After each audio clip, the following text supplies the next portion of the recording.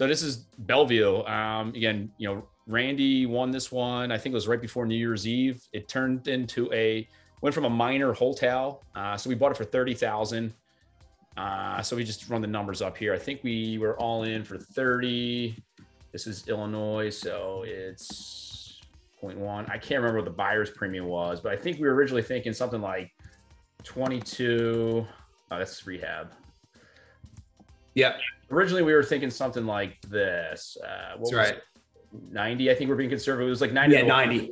estimate. So we're like, okay, 90. that's Wholesale. like We're thinking. to 100 maybe. Oops, missing a zero. So we were thinking something in that range. You know, with we had a private lender on it. You knock off a few grand. You call it high 30s net uh, there on that. What you can clearly see here is this isn't a minor wholetail at all. Um, Turned into more than we thought. it's a full rehab uh, for the most part. Yeah. Uh, looks decent. These are the, these is listed on MLS now. This just happened. Uh, the rehab finished last week. You can see we, we put in new cabinets, uh, new flooring, new paint, new appliances.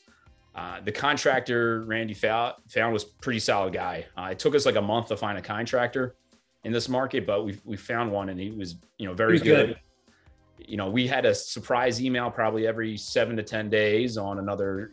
This happened, this happened, but at the end of the day, all this work will will get a higher uh, price, and- Higher ARV, yeah. and, and then also higher inflation from what we originally thought prices were back in January. Yeah. because prices continue to increase in that area. This is a suburb of St. Louis, so this rehab turned out like really cool. We Randy has- added some additional square footage too in this one.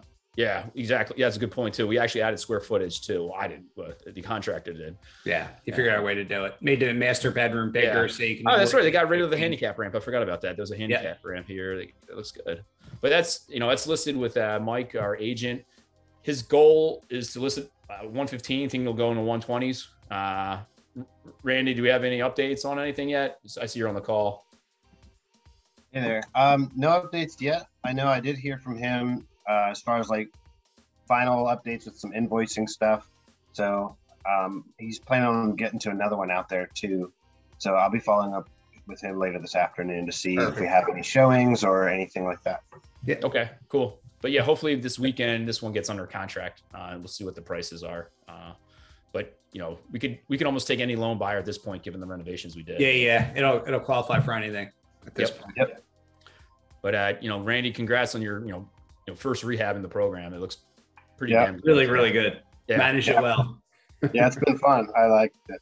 Yeah, What was the uh, what was the uh, when did when did you go under contract with this? it was right before New Year's, right? Wasn't it the last week of December, maybe? Yeah. Yep. Let me let me pull this up. Literally, it took like six weeks to find a contractor. It, it was It did. brutal. Like I don't think we found one until February. Right. We won the contract, and then obviously the time wait. it takes to get it closed, and then take possession, and then find a contractor. So it took a little time. It was. Yeah, it took a little time for sure. I'm trying to see if I can find a date on this HUD. For some reason, I'm not finding a closing date, but it took a good month for us to get the find. We went through a, a few different contractors to um, see which one we wanted. Right, we were one, willing to wait for this guy because he definitely seemed he was better than the other ones. Yeah. for sure. And end up being the right thing to do. Sometimes it's better to wait for the It is. better one and rush into the to the wrong one here. Yeah. Yeah, that's right. I think we won it at auction the last week, and we closed on it in the January. January 24th. Okay, yeah. yeah. So basically, we wait until the very end of February, early March, or I think maybe early March he started. Maybe Early March, he started. Yeah. Yeah. I mean, and given all the work he did, adding square Oh, yeah. to the place, that's a pretty quick rehab. Uh, for- Yeah. for He did scale. it quick. He did Hey, it so- quick. Interior, exterior, both. Mike, what was so when you initially showed the numbers, you had twenty two thousand, but you were calling it a wholetail. Was that Mm-hmm. that seemed was was the was the renovations eventually around twenty two, or was that what you original? What was the original? no, that was thought? original thought. We end up being around 56. A lot more than we thought. That's what we added happen. square footage and it made all and we did a whole new kitchen instead of painting the kitchen cabinets, right? So we did that, a new black backsplash, two brand new bathrooms, right? Completely gutted the bathrooms. Had to structurally re-support the house because there was under part of the house there was no structural support. So he had to he had to redo some stuff structurally, which adds a lot of cost. That's how we got up to 56k.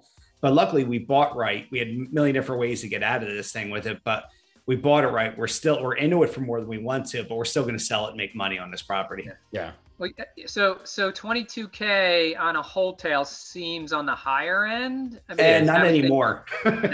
not Yeah. anymore. Seems like holy yeah, it's crap. almost like the new. Yeah, it's a good point, Paul. Yeah, It is. It's so ridiculous what things cost anymore, Steve. Like Yeah. I mean, a hot water heater. I just got a new hot water heater. I used to pay seven hundred dollars, six, seven hundred dollars.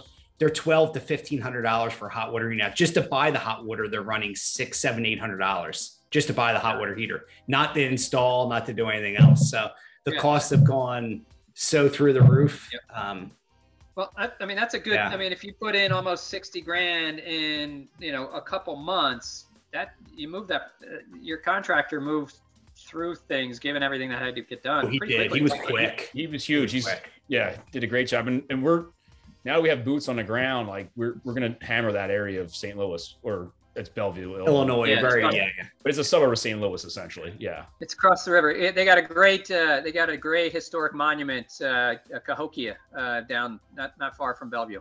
Oh yeah, Okay. interesting. Yeah, they You got might have uh, go visit it one day. Earth and Earth and yeah, just don't get lost in East St. Louis because you might not get out. Yeah, true. Danger zone.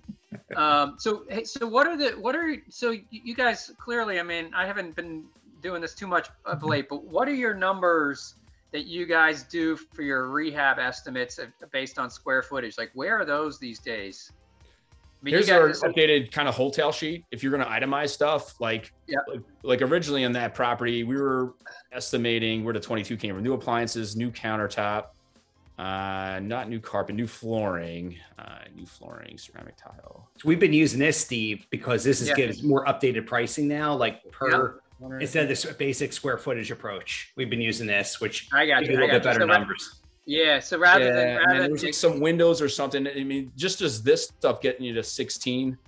Yeah. Here's our oops factor, and then I think we were gonna do like I think the one bathroom had to be updated and maybe some windows. And I got to Yeah. start. We need a few windows, yeah, Yeah, Okay.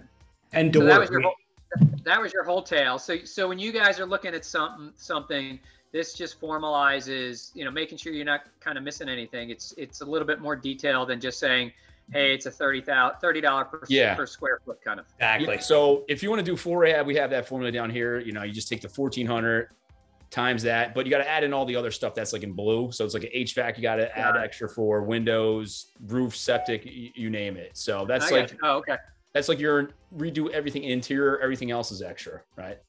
got it. Okay, But in this case, we early on we itemized it because it wasn't a full rehab, but it was like okay, you don't have to redo the kitchen we thought originally, but All right.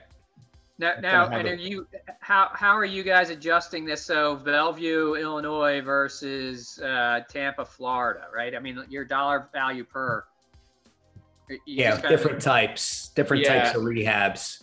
Yeah, for sure. You know, It- I mean, we so we just- weren't even planning on rehabbing at all Florida, so we didn't even look at numbers on that. I, I, I did. I used kind of like general Square footage numbers. general Yeah. square footage numbers. I think, and it was pretty darn right after you and Paul or David visited Paul. Yeah, Um, I yeah, think for we- sure. I was Yeah. thinking 25 to 30 a unit or something. per unit. Per unit, yeah, 25 the unit or something like that. Uh, and it was pretty close based on their walkthrough, uh, what Yeah. they were kind of guessing.